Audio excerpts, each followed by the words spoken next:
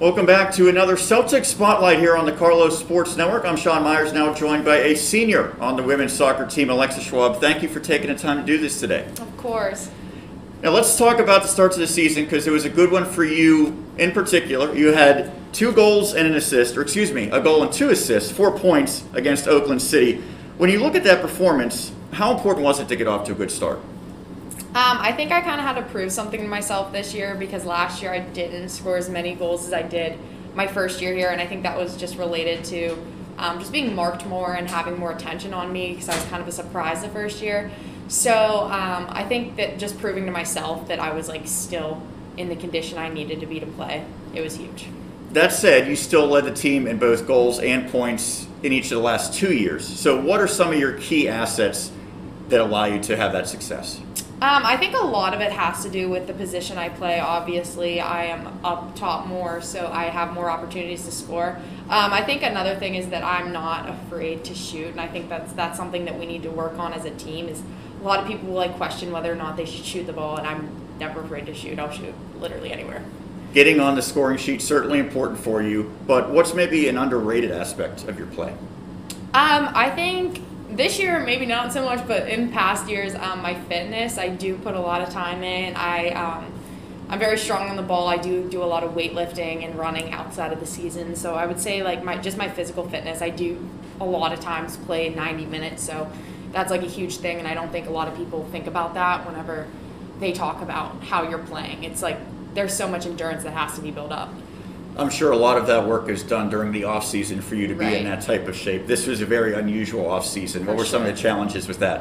Um, I didn't have access to a gym like I would in the past, so I think um, it was hard. I had to find kind of creative ways to um, just get keep my strength up. Um, and another thing was running and just getting a field to practice on was very hard because everything was closed off. I usually go to a field to train, but they weren't really letting people on because of COVID. So just finding creative ways to keep up with my fitness, keep up with my ball skills and my strength. You're a senior. I'm sure that you've taken on more of a leadership role. How has that part of your game evolved? Um, I think that on the field, I've always been considered more of a leader, so I don't think um, on the field much has changed. I think it's more off the field. I've kind of taken on a role, just like being there for the team, doing things like getting food prepped and like stuff like that. So I just feel like more of a mom this year, even though I don't act like one, but that's what I feel like. Do you actually cook food for the team? no, team? just like ordering food and getting everything prepared and like sorting things out. It's not like what I'm used to doing, so. Fair enough. I'm not much of a cook myself, so I understand. Uh, a lot of newcomers on this For team. sure. Who who have impressed you so far?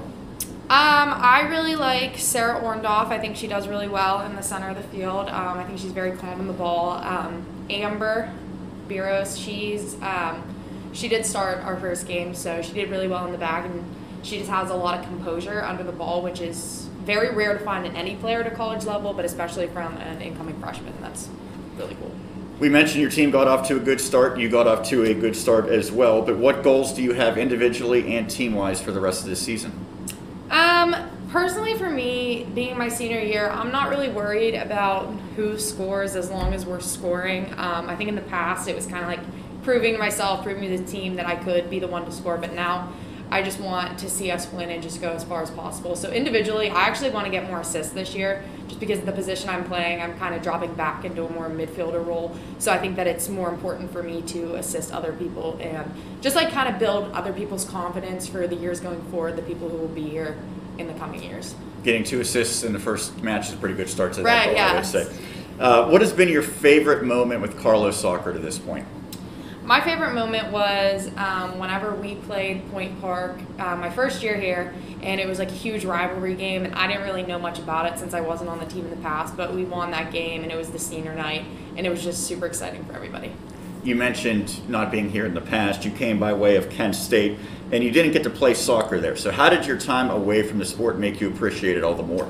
Um, whenever I graduated high school, I kind of got burnt out of it a little bit. I didn't really want to play in college. Um, I just didn't have the motivation. And then taking the time off, seeing my friends who were still playing soccer just like instilled in me like how much I love the game and how much I missed it. So I'm really glad that we're getting to play this year for my senior year. I would have been devastated if we wouldn't have got to play. So it just made me appreciate the more fun aspect of the game and the relationships I can have with my teammates. You've played under the head coach Alan Duda in your time at Carlow. What are some of his best qualities?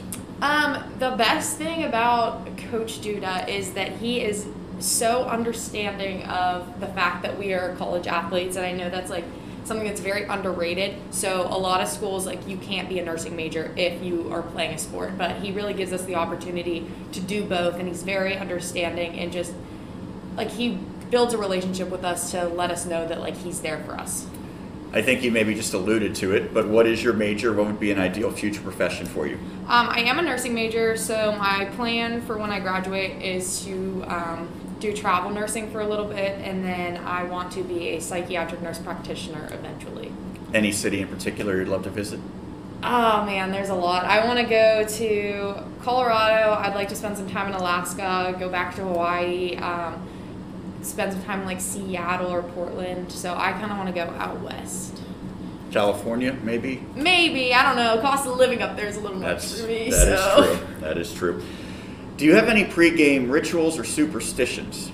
I'm very particular with my stretching routine. Um, just making sure that I do like certain number of runs, certain number of like the way I stretch. But other than that, I don't really do anything. I don't like to be superstitious because then I get too much in my head before I play. So it's like if I wore these socks last game and I don't wear them, it just causes too much confusion for me. So I try not to be superstitious. You at least you wash the socks. I do Okay, usually. that's a good Yes, I do usually wash the socks. You never know with superstitions. Yeah, no, so. you really don't. What has been uh, your favorite college class at Carlow? Uh, definitely psych. I love psych so much. So yeah, for sure. You attended Freedom High School. Mm-hmm. What was your favorite memory there? Um, the year, the first year we made it to states, which was my sophomore year. Nobody was expecting it because my freshman year we won like a handful of games. We weren't very good, and then we went to states my sophomore year, and we made it to like the WPIAL finals. We were like we got second place, so it was just like a huge shock to everybody that like we were even like considered to play there. I, I would assume that a lot of people, basically from March until maybe June or July, had a lot of time to watch movies and TV shows. Yeah. Is there any that you can basically recite every line to?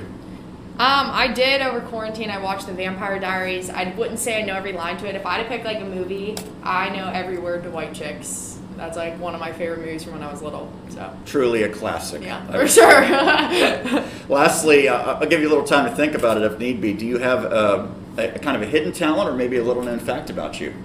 Um, I don't know if I necessarily have hidden talents, but I love to lift. I like spend all my free time in the gym weightlifting. So um, I feel like most of my team knows that. Um, yeah, so that's What's, just- what's your favorite workout then? I love back workouts. Back. Lat pull down, seated yeah, rows? back day is my favorite. I love to deadlift. Like I just love back day.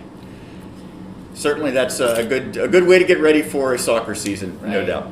Well, we appreciate the time. Thank you so much, and good luck the rest of your senior year. Thank you for having me. That is Alexa Schwab, a senior for the Celtics here on the Celtics Spotlight.